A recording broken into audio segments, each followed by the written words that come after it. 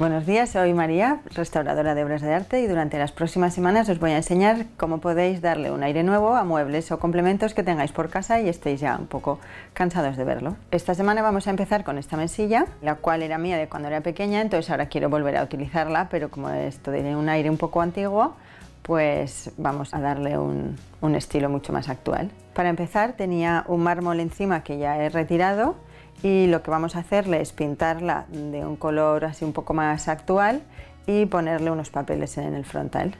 Os voy a enseñar los materiales que van a ser necesarios. Utilizaremos una pintura que se llama pintura latiza, que podéis adquirir en cualquier tienda de manualidades.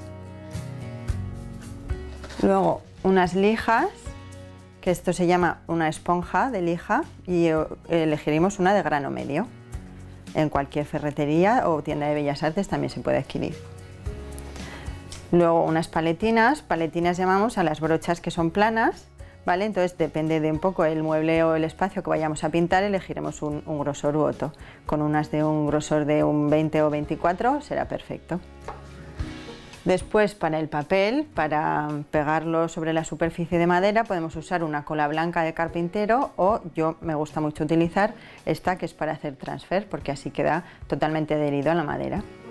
Y para finalizar le daremos un barniz eh, protector que a mí me gusta mucho utilizar barniz mate porque queda mm, la superficie mucho más satinada.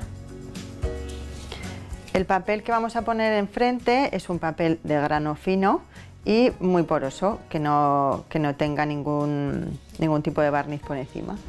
Lo primero que vamos a hacer es lijar un poco todo el mueble para abrir un poco el poro y que la pintura nos penetre mucho mejor. Acordaos siempre de lijar en el sentido de las vetas de la madera, ¿vale? La madera tiene un dibujo, pues siempre en el mismo sentido, porque si no rayamos la madera y se estropea. Tiene que ser un lijado fino, tampoco hay que retirar la pintura, simplemente que notemos que se, que se queda la superficie un poco eh, más porosa.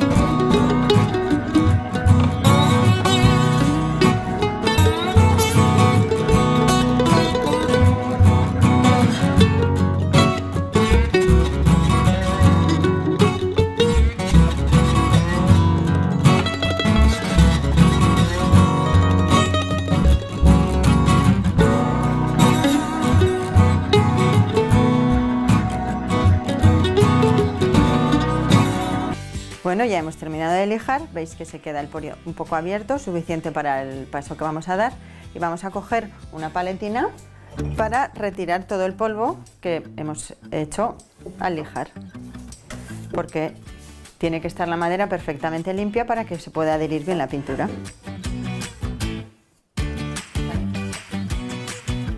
Es muy importante ¿eh? que esté la superficie totalmente limpia para poder trabajar mejor.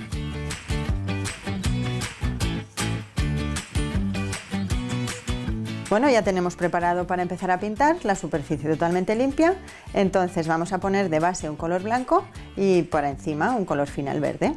Vamos a coger el bote y, muy importante, remover siempre la pintura antes de empezar a pintar, ¿vale? Con un palo cualquiera o con, con lo que tengas por allí para poder removerlo. Le das vueltas hasta que veas que está homogéneo, porque si no se nos queda arriba todo el líquido y la pintura no pinta bien. Las brochas que antes os he dicho, ¿vale? Cogeremos la paletina y directamente del bote vamos a ir aplicando por no todas las zonas, ¿vale? Porque como vamos a hacer un estilo de copas, que lo que es es ir lijando para que se vean las capas de debajo, vamos a ir dando un poco aleatoriamente por zonas donde queramos que al lijar se nos vean el color blanco y el color de debajo de la madera. La zona donde vamos a aplicar el color blanco va a ser sobre todo en los bordes y donde veamos que las aristas son más salientes porque son las que más rozamiento sufren y donde pierden la pintura.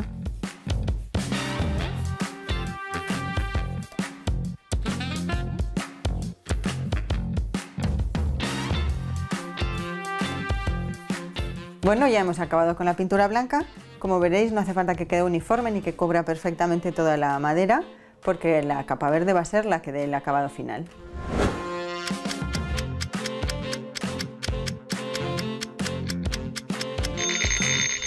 Lo hemos dejado secar durante media hora. Eh, tenemos que notar al tacto que ya no se nos pega la pintura en las manos y entonces vamos a proceder a pintar con la pintura verde, que va a ser la pintura final.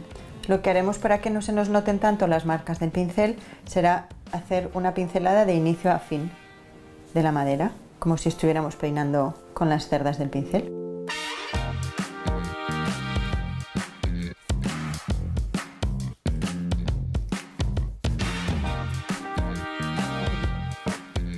Cuando vayamos a pintar los cajones, tendremos cuidado de hacer bien el borde, pero no hace falta que pintemos todo el frontal porque pondremos el papel.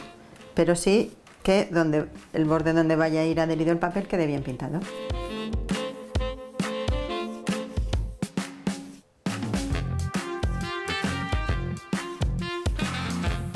Pues ya tenemos todo el color verde puesto. Veréis que este tipo de pintura, que es pintura latiza, es muy cubriente y entonces con darle una capa y teniendo cuidado de que imprima totalmente la superficie, la tenemos lista para dejarla secar y ya poder seguir al siguiente paso.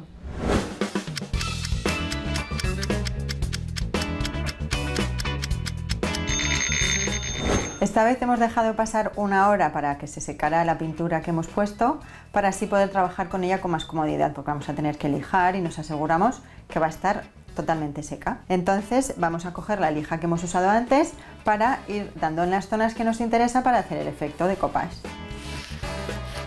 A la hora de lijar vamos a hacer más hincapié en las aristas y en las zonas que más sobresalen. Eh, las dejaremos a nuestro gusto conforme vayamos lijando.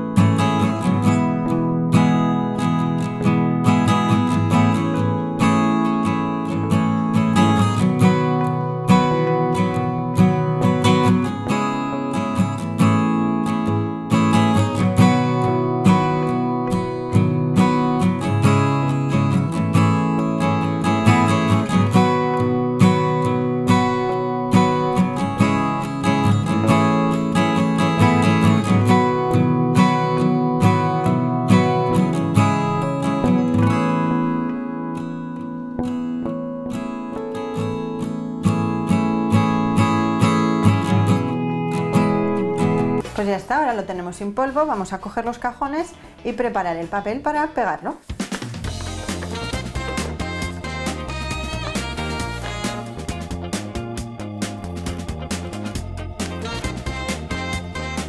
Bueno, pues ya hemos cortado las tiras y vamos a pegarlas. Cogeremos el pegamento para transfer y una paletina con un tamaño que no sea más ancho de la superficie que vamos a encolar.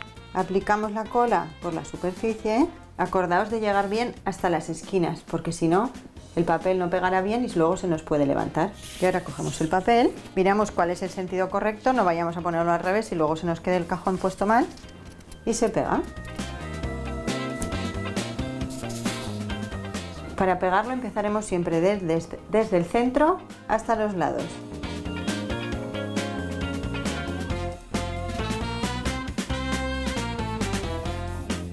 Bueno, vamos con el siguiente paso. Ya tenemos el papel totalmente seco y entonces vamos a darle la protección final, que es el barniz. Yo utilizo un barniz ultramate porque me gusta mucho ese efecto, como queda en el mueble. Cogeremos un botecito para echar la cantidad que vayamos a utilizar y así también es más cómodo para usarlo con, con la paletina. Bueno, ya lo tenemos preparado. Vamos a ir aplicándolo como siempre, siguiendo el sentido de las vetas. Aquí seguiremos el dibujo que nos ha ido dejando las cerdas del pincel. Aplicaremos una capa por todo. Es muy fácil y muy rápido de extender porque es muy líquido.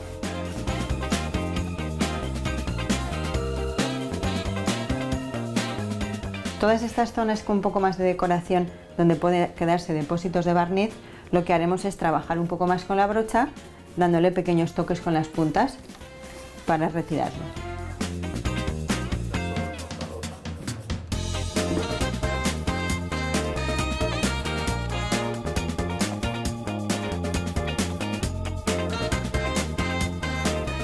Una vez que se ha secado el papel, vamos a colocar los tiradores. Yo voy a aprovechar los mismos que tenía en la mesilla, pero si queréis podéis elegir otros que os gusten más. A la hora de colocarlos, fijaos bien que estén bien centrados, entonces usaremos un metro.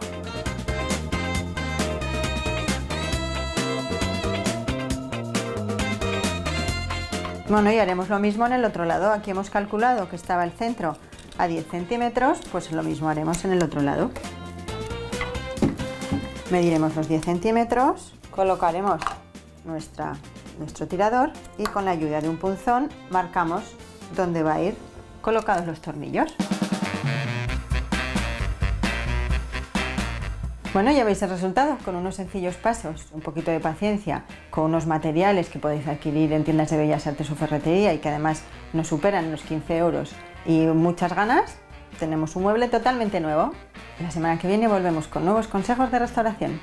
Adiós.